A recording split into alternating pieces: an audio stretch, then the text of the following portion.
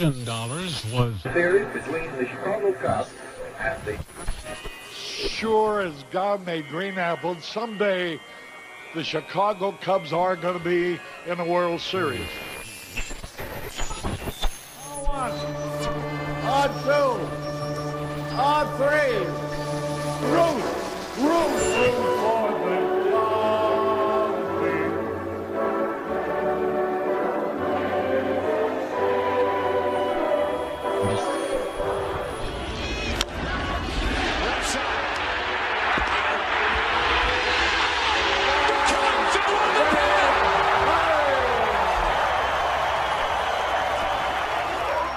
So long, everybody.